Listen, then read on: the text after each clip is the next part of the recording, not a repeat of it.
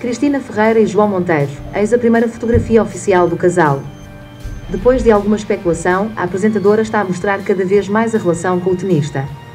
E numa partilha recente de uma amiga, surge pela primeira vez a posar ao lado do namorado. Sobre noites felizes, sobre a amizade e o amor, escreveu, em primeiro lugar, Catarina Duarte, juntamente com a fotografia. Na imagem, Cristina Ferreira e João Monteiro estão na companhia de outros amigos da apresentadora. Ou seja, Rubinho Correia, Edmundo Rosa e Maria Lázaro. O grupo esteve junto na noite da última quinta-feira, 18 de janeiro, quando jantou no restaurante Yakuza, do chefe Olivier da Costa. De recordar que, anteriormente, a apresentadora já partilhou uma fotografia com João. Foi durante a última Cristina Talks que os dois foram apanhados a abraçarem-se. Entretanto, a imagem não deixa o rosto do homem à mostra. Aos 46 anos, Cristina Ferreira voltou a apaixonar-se e não esconde de ninguém que está a atravessar uma das melhores fases da sua vida. Assim sendo, o felizardo é João Monteiro, irmão de Francisco, o vencedor da última edição de Big Brother.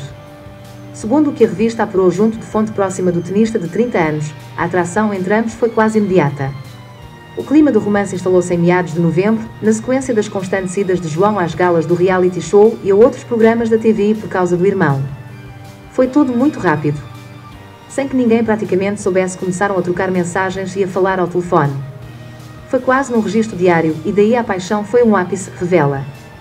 Mais sorridente do que nunca, Cristina nada faz para disfarçar o seu estado de encantamento, antes pelo contrário, tem vontade de gritar aos sete ventos que está apaixonada.